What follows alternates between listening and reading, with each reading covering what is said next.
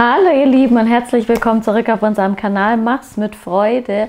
Heute nehme ich euch mit Freude mit in den Garten und zwar gibt es einmal einen Rückblick, wie der Garten aussah, als wir hier eingezogen sind, wie er sich entwickelt hat und dann gibt es noch einen Gartenrundgang. Also ganz viel Spaß beim Video.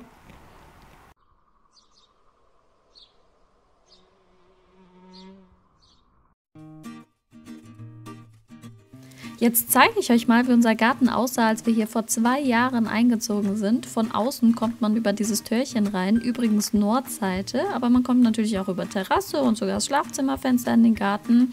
Erstmal geht es auf jeden Fall den Berg hoch, das ist der erste Hang. Dann fällt es rechts zum Nachbarn ab und zum Nachbarn vorne geht es wieder rauf. Mit dem Garten muss man also kreativ sein und ihr seht schon, dass er komplett leer war, bis auf zwei Sträucher und einen Apfelbaum, den die Vermieter gepflanzt haben.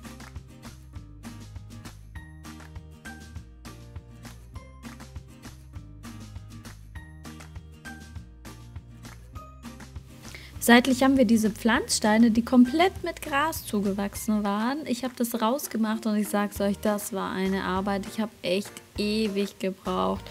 Da, wo nur wenig Platz ist, habe ich dann Sukkulenten reingepflanzt und in die oberen kamen bienenfreundliche blühende Pflanzen rein, dass die Bienen ein schönes Buffet haben. Hier seht ihr nochmal den ersten Hang. Da haben wir den ganzen Chinaschilf eingepflanzt, den wir noch aus dem Garten davor hatten. Der wächst nämlich schnell und hoch und sollte als Sicht und auch etwas als Lärmschutz dienen. Da unten ist nämlich gleich eine Bahnlinie. Ja, im ersten Jahr kam der Kompost in den hinteren Bereich vom Garten und im zweiten wurde der versetzt und wir haben das Gartenhäuschen in den Hang gebaut. Und ich habe einen Rosenbogen für das Törchen bekommen. Ich wollte schon immer mal einen haben. Den Hang seitlich haben wir benutzt, um unsere Beerensträucher hinzupflanzen. Wir waren nämlich auf einem Permakulturseminar, wo wir den Tipp bekommen haben, den zum Anpflanzen zu nutzen.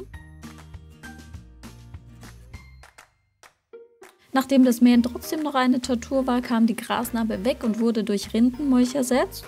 Und um es uns noch einfacher zu machen, kam im zweiten Jahr noch eine Umrandung hin. Das Beet wurde verlängert und Robin hat sogar noch eine Treppe hingebaut, dass der Bereich überhaupt nicht mehr gemäht werden muss. Und im Herbst wurden die Himbeeren und Erdbeeren noch versetzt.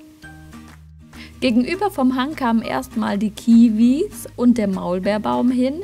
Der Maulbeerbaum hat dann aber nochmal einen sonnigeren Platz bekommen und die Kiwis haben ein Spalier bekommen und natürlich wollte ich noch ein Kräuterbeet an der Terrasse haben. Das Ganze haben wir dann kombiniert, also Kräuter und Kiwis. Und die Kräuter sind auch richtig schön gewuchert.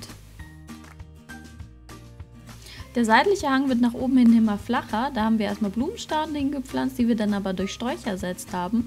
Und dann kam unser erstes Gemüsebeet und zwar das Hügelbeet. Ja, ich weiß, das ist sehr niedrig, aber wir haben es wie ein Hügelbeet aufgebaut, deswegen Hügelbeet.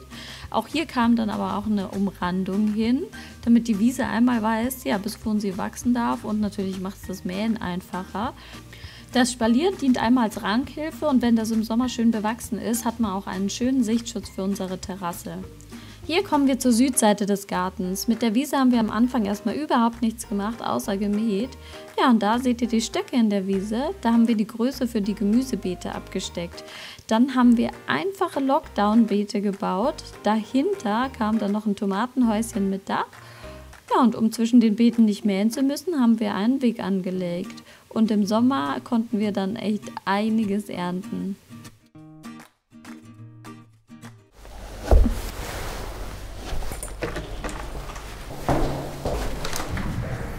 Ja, da liegt auch schon ein äh, Gartenprojekt. da ist nämlich unser Gewächshaus verpackt. Das wartet darauf, noch aufgebaut zu werden. Ich freue mich schon so, wenn das endlich steht. Ja, aber da müssen wir uns noch ein bisschen gedulden. Fange ich jetzt halt hier mal an. Das sind die Pflanzsteine. Da hatten wir ja am Anfang, wie ihr auf den Bildern gesehen habt, alles voll mit Wiesen. Da habe ich angefangen, eben ja, ganz viele Blühpflanzen reinzupflanzen, damit eben die Bienen gut was zu essen haben. Und da oben, hier in den oberen, da sind so Klematis drin, damit die halt eben richtig schön da hier am Zaun entlang wachsen können. Zumindest ist das der Plan. Ich hoffe, es klappt auch, weil die schauen sehr mickrig aus. Ein paar Sukkulenten hatte ich noch drin. Die habe ich mal über eBay Kleinanzeigen halt eben gekauft gehabt. Aber da müsste man auch teilweise mal wieder Erde auffüllen, dass die mal hochkommen und so weiter. Aber mal gucken, was ich da dieses Jahr alles finde, was ich da noch reintun kann. Und der Mess kommt übrigens komplett von ähm, den China-Schiff. Hier haben wir übrigens nochmal solche Pflanzsteine. Und da geht's los mit unserem Rosenbogen. Dieses Teil haben wir gekauft für 5 Euro bei eBay Kleinanzeigen und dann einfach bei äh, im Baumarkt halt dann Vierkantholz geholt und die dann mit so Einschlaghülsen in den Boden reingetan. Dann noch hier Verbindungsstücke ran, hier an der Seite und schwupps hatten wir unseren Rosenbogen. Und dann haben wir hier nämlich eine Kletterhortensie und da drüben eine Rose und dann hoffe ich, dass sich das oben in der Mitte dann trifft und das ein richtig schön, also richtig schön bewachsen ist. So, und da haben wir hier unseren ganzen Mess vom China-Schiff. da ist alles voll, das muss ich unbedingt bald halt eben dann wegräumen. Aber da geht es weiter hier auf jeden Fall mit unserem Kompost. Den haben wir hier so in die Schräge quasi reingebuddelt. Genauso wie unser Gartenhäuschen, das ist da auch in der Schräge quasi drin. Ja, weil wir einfach vorne die freien Ebenen, die wir da haben und die flachen in der Sonne halt eben für Gemüse benutzen wollten. Deswegen haben wir geguckt, dass wir das hier unterbringen. Und das Gartenhäuschen muss auf jeden Fall mal sauber gemacht werden. Hier, das war so schön weiß und jetzt ist das so dirty. Aber gut, das müssen wir dann auch mal machen irgendwann. Ja, und da geht es hier weiter. Da haben wir letztes Jahr noch eine Brombeere eingepflanzt. So, und da ist eben der Plan, dass das da, hier dieser Zaun, als Ranggitter benutzt werden kann von der Brombeere und dass wir dann hier schön ja, alles beernten können. Und den China-Schiff, also das sieht wunderschön aus im Sommer, wenn man hier so hochläuft und dann rechts und links alles voll mit China-Schiff ist, aber es ja, ist ja nicht gerade das Beste. also es nützt halt niemandem was, ne? also weder Bienen noch Vögel, deswegen möchte ich das auch nach und nach mal austauschen, aber eins nach dem anderen. Ja, hier haben wir noch am Rand was, was der Vermieter eingepflanzt hat, wo ich gar nicht genau weiß, was das ist. Dann haben wir hier noch ein paar Blümchen. Schau mal, die sprießen sogar schon. Die haben wir aus unserem alten Garten mitgenommen. Und da haben wir letztes Jahr noch einen Haselnussstrauch eingepflanzt. Der geht auch schon ganz schön hoch. Da, bin ich, da freue ich mich schon voll drauf, wenn der dann auch irgendwann mal Früchte trägt und wir Nüsse ernten können. Ja, da haben wir noch ein bisschen Erde hinterm Gartenhäuschen. Da stand vorher unser Rasenmäher, unser alter.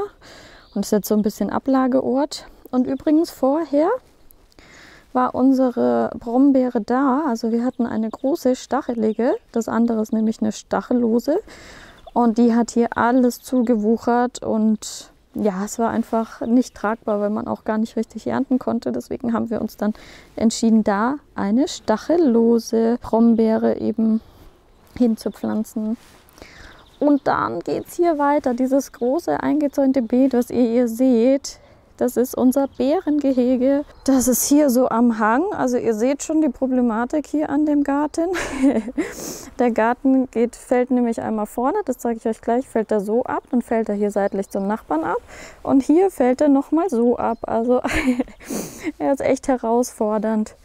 Ich sage da immer Bärengehege zu, weil wir da unser ganzes Bärengewächs halt eben drin haben. Also hier Goji-Beere, hier haben wir dann noch Sanddorn, männlich und weiblich.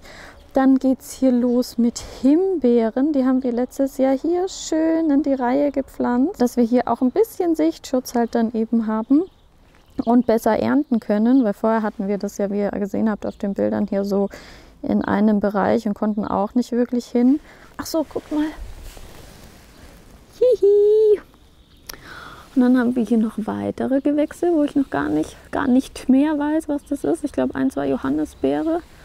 Und das andere weiß ich gerade selber nicht mehr. Muss man mal gucken, was da noch mal kommt.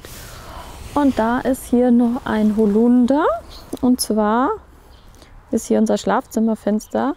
Und der ist hier so mittendrin, dass der hier auch ein bisschen Sichtschutz einfach geben kann. Also hoffe ich, dass der schön wächst und gedeiht. Hier ist der Plan, eben wenn wir dürfen vom Vermieter, einen Regensammler hinzumachen und da eine große Regentonne hinzumachen und die dann eben weg.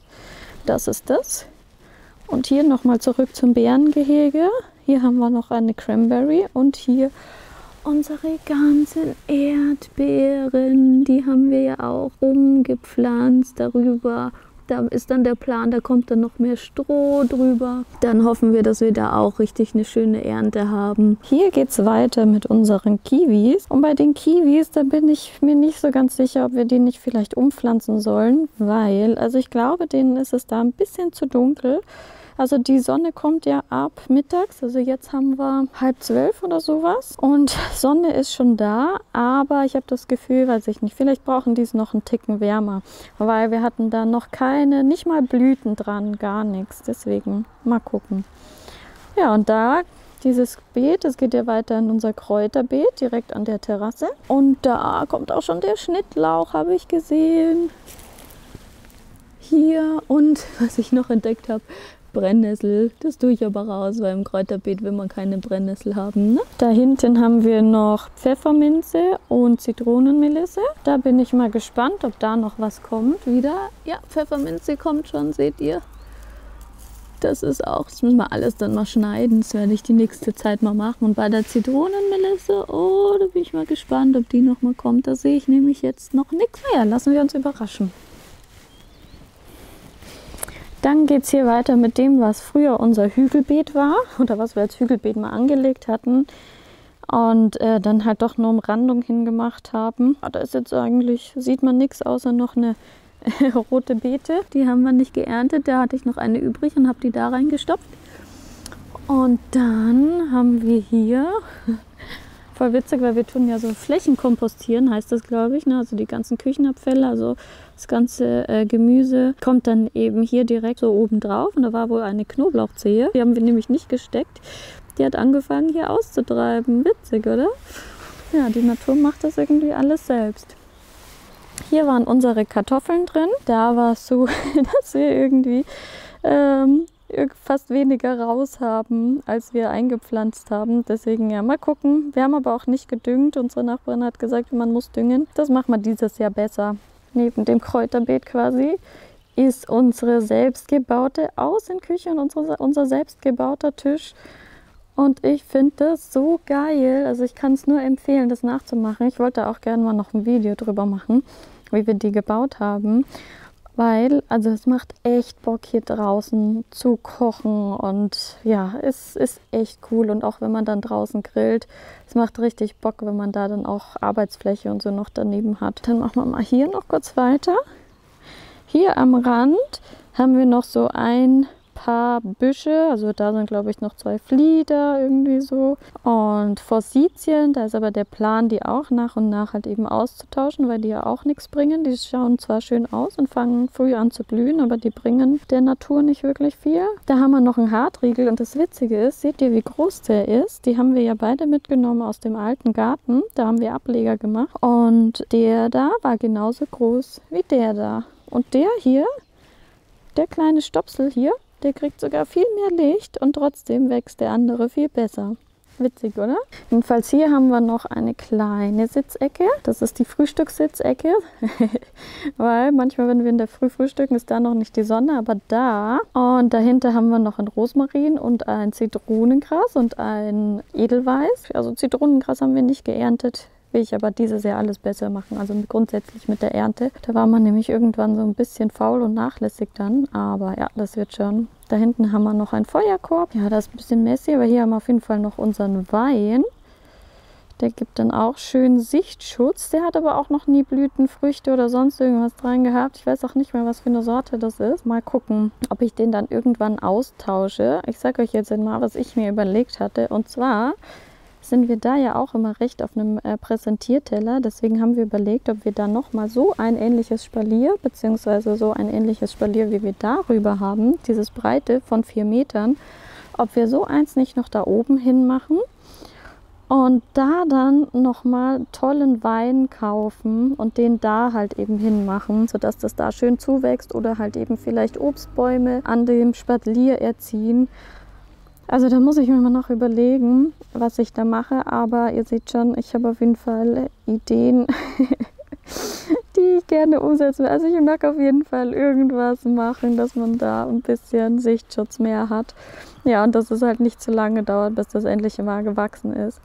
Übrigens, das ist ein Apfelbau, wo ich leider auch nicht weiß, was für eine Sorte das ist. Den haben unsere Vermieter gepflanzt. Und da ist noch ein Holunder. Mal gucken, ob der dann bleibt, wenn das Spalier dann kommt. Eine Forsythie, die ja raus soll. Und das da ist ein Maulbeerbaum. Ja, da bin ich auch mal gespannt, ob der irgendwann mal Früchte trägt. Bisher nicht, aber wir haben unsere Pflanzen schon auch ein bisschen geschunden durch den Umzug, weil das war ja alles oder vieles war vorher schon in dem Garten davor, also wie die Kiwis, die Forsythien, der Hartriegel und ja, lauter solche Sachen, die ganzen Beeren. Und genau, deswegen haben wir die eh durch den Umzug und dann innerhalb des Gartens sind die dann auch teilweise nochmal umgezogen. Da haben wir die schon ganz schön malträtiert. Ja, und hier kommen wir jetzt zu den Beeten noch, die wir letztes Jahr gebaut haben im Lockdown. Und zwar haben wir ja hier nur ganz grob irgendwie Bretter bei eBay Kleinanzeigen bekommen, haben das dann gefüllt und hinten noch ein Tomatenhäuschen gebaut.